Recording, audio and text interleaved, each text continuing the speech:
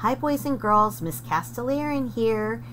We are just a few days away from the first day of preschool. Yay! I'm so excited that you guys are coming this year to preschool. But I know you may be feeling a little different about things. You might be really excited, or you could be nervous, or you could be worried. Any of those things is okay to feel. But I wanted to take the chance to maybe help you feel a little bit better about coming to preschool by reading you a book called The Night Before Preschool. This may help you know some of the things that will be um, coming up at preschool, things that you might see and things that you might do.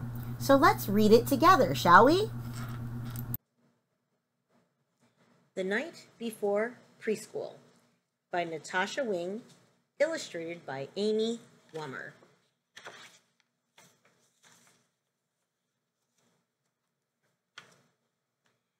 Twas the night before preschool.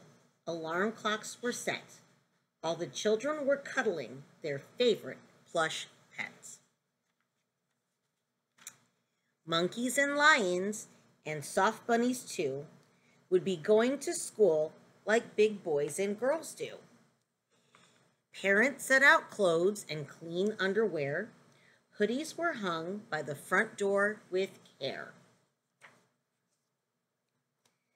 The children then nestled all warm in their beds, while visions of playtime danced in their heads. But one little boy was still wide awake. He worried about preschool and the friends that he'd make.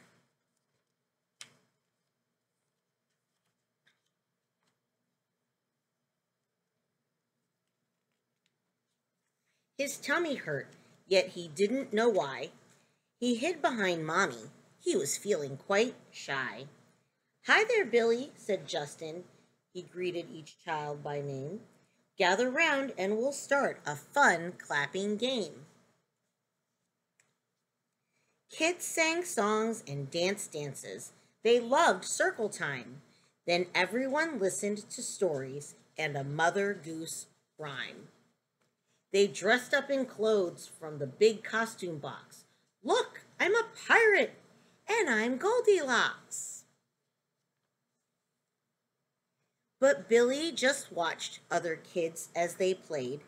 In the corner by himself was right where he stayed. See Billy right there?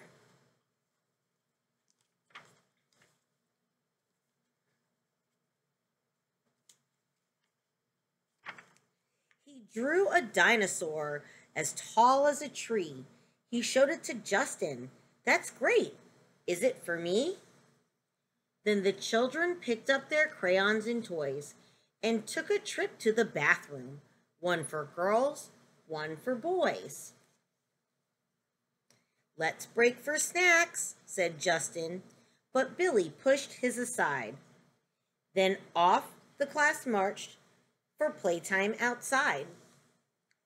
There were tricycles to ride in a big loop-the-loop, a garden to tend, and sand piles to scoop. After hanging up jackets and wiping off shoes, they gathered their buddies for a quiet time snooze.